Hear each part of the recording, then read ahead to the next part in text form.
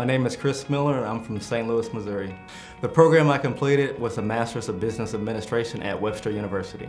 I chose Webster University because it is a leader in online education and at the time I was moving away from St. Louis, so with Webster being a leader, it made sense to choose Webster and start my online degree program.